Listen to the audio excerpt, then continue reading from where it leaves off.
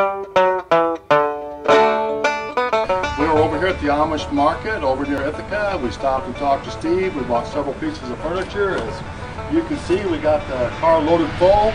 Great prices, great service, and we recommend anyone looking for furniture to come see Steve, the Amish market in Ithaca.